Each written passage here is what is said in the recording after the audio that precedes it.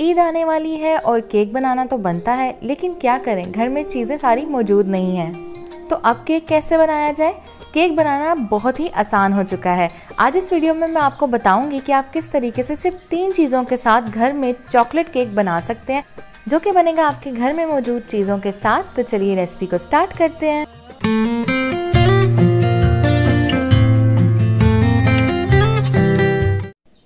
बिसमीम वालेकुम एवरीवन। उम्मीद करती हूँ कि आप सब बिल्कुल ठीक होंगे, खुश होंगे। मेरा नाम है फातिमा और आप देख रहे हैं एफ़ एम्स पावर चिहाना चैनल। तो मेरे प्यार प्यार देखने वालों, आज ईद स्पेशल में मैं आपको बनाना सिखाऊँगी ईद स्पेशल केक, जो कि बहुत सिंपल है बनाना, बहुत जल्दी बन के तैयार होता है और आप इसे किसी को गिफ्ट भी कर सकते हैं और घर में बना के खुद भी खा सकते हैं। तो चलिए रेसिपी को स्टार्ट करते हैं। सबसे पहले आपने ओरियो के फाइव हाफ़ रोल्स लेने हैं, यानी कि पाँच पैकेट उसके बाद आपने इनको छुरी की मदद से इनकी क्रीम को अलग कर लेना है और बिस्किट्स को आपने अलग से एक बोल में इकट्ठा कर देना है। ये आप देख सकते हैं, मैंने पाँचों पैकेट के बिस्किट्स को अलग कर दिया और उनकी क्रीम को एक अलग से बोल में इकट्ठा कर लिया। अब नेक्स्ट स्टेप क्या है, वो मैं आपको बताती हूँ। सो नेक्स्ट स्टेप में आपने लेना है एक अदद चॉपर या आप ले सकते हैं जूसर ब्लेंडर अब यहाँ पे आपने तोड़ के बिस्किट्स जो हैं, ये सारे शामिल कर देने हैं इसके अंदर।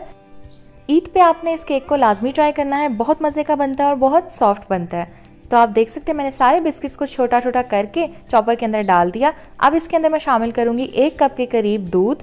मैंने डब्बे वाला लिया है, आप ताज़ा दूध भी ले सकते हैं। इसके बाद इसको बंद करेंगे और हम इसे ब्लेंड कर लेंगे तकरीबन एक मिनट के लिए। एक मिनट के बाद आपने इसका ढक्कन उतार लेना है और इसको शिफ्ट कर देना है आपने किसी भी बोल के अंदर। आप देख सकते हैं, खूबसूरत सा आपने एक बोल लेना है और इसके अंदर ये सारा केक बैटर आपने डाल देना है। यही कंसिस्टेंसी होनी चाहिए, बहुत ज़्यादा पतला नहीं होना चाहिए आपका बैटर ठीक हो गया?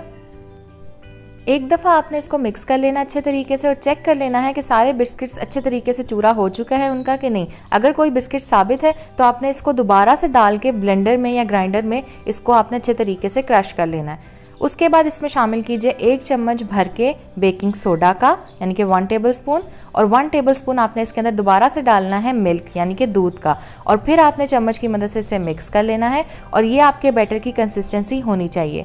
मिक्स करने के बाद बैटर बिल्कुल रेडी है। अब आपने एक केक पैन लेना है। यहाँ पर मेरे पास छः इंच का केक पैन है। इसके अंदर आपने ब्रश की मदद से ऑयल लगाना है और इसको ग्रीस कर लेना है। आप हाथों की मदद से भी ग्रीस कर सकते हैं। अगर आपके पास ये ब्रश मौजूद नहीं है अब आप देख सकते हैं मैंने ऑयल लगा दिया अच्छे तरीके से। यहाँ पे मेरे पास वैक्स पेपर है, इसकी मैंने दो इस तरीके से शीट्स काट ली हैं और दोनों शीट्स को मैंने नीचे लगा देना है इसके ऊपर सांचे के अंदर। और आप चाहें तो बेकिंग पेपर भी ले सकते हैं और ये शीट लगाने के बाद आपने दोबारा से ब्रश की मदद से इसके ऊपर ऑयल लगा देना है थोड़ा सा ताकि शीट प्रॉपरली स्टिक हो जाए सांचे के अंदर।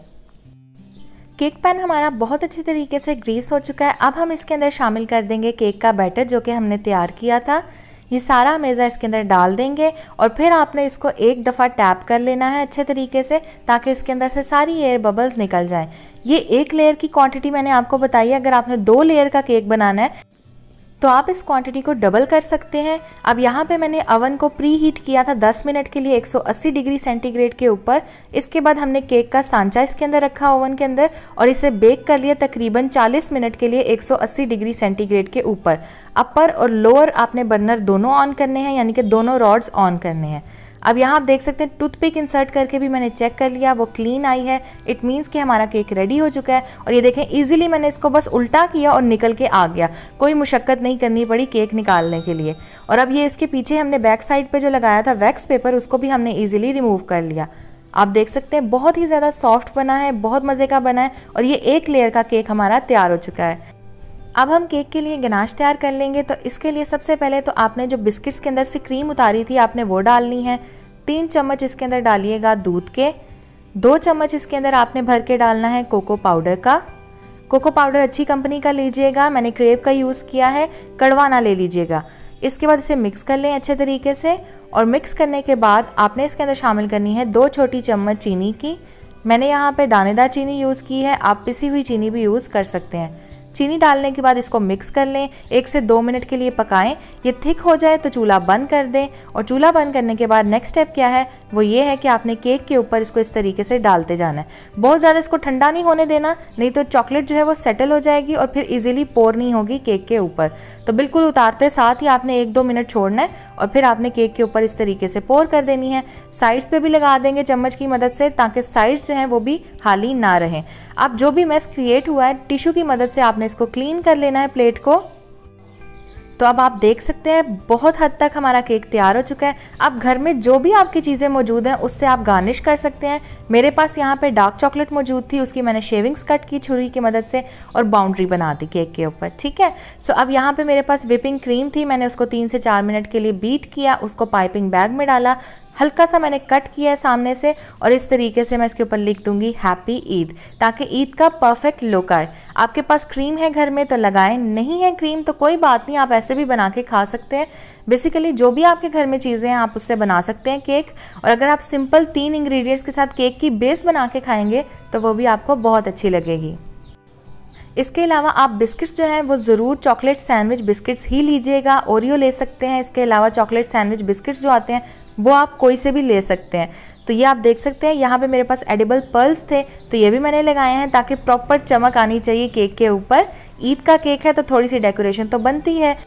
जो भी डेकोरेशन मटेरियल है स्प्रिंकल्स वगैरह, हर चीज़ आप इसके ऊपर डाल सकते हैं जो आपको पसंद है, नहीं तो सिंपल भी इसे खा सकते हैं। मुझे उम्मीद है कि आप लोगों को ये केक की रेसिपी बहुत अच्छी लगी होगी। वीडियो पसंद आई हो तो इसे लाइक कीजिएगा शेयर कीजिएगा कॉमेंट कीजिएगा।